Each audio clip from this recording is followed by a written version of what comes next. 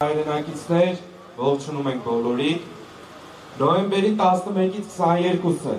Բաքվում տեղի ունենալու ՄԱԿ-ի կլիմայական փոփոխության հեղինակավոր համաժողովը COP29-ը։ Այս համաժողով անցկացվում է մարդու իրավունքների եւ ազատությունների վատարագույն ցուցանիշ արձանագրած նավթային բռնապետություն հանդիսացող Ադրբեջանում։ Ադրբեջանը 1 տարի առաջ Արցախում էթնիկ զտումներ է իրականացրել։ Բռնի տեղահանության ենթարկելով Արցախայությանը։ Բռնազավթված տարածքներում Ադրբեջանը առ այսօր շարունակում է մշակութային ցեղասպանություն իրականացնել, ջնջելով հայկական հետքը Արցախից։ Առ այսօր Բաքվում շարունակում են պատանդարված մնալ մի քանի տասնյակ հայ ռազմագերիներ, որոնց թվում են քաղաքացիական անձիկ եւ Արցախի ռազմաքաղաքական ղեկավարությունը։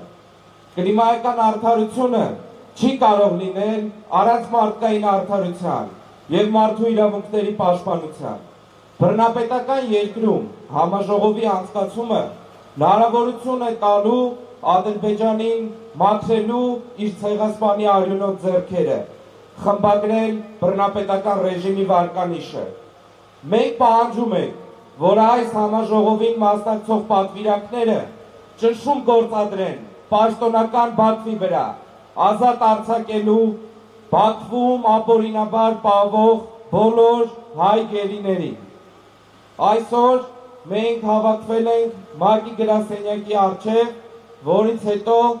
Երթով այստեղից կշարժվենք ՀԱԿ Մինսկի համանախագահ պետությունների դեսպանատներ մեր հորդորն ու նամակները փոխանցելու նրանց։ Ադրբեջան ագրեսոր։ Ադրբեջան ագրեսոր։ Ադրբեջան օկուպանտ։